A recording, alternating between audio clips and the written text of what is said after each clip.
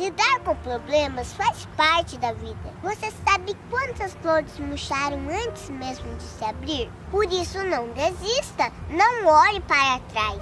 Persiga seus sonhos e entregue seus anseios a Deus. E se você cair, não tem problema. Peça perdão a Deus e estenda suas mãos e clame por ajuda, que Ele vai te levantar. Um beijo da Sofia.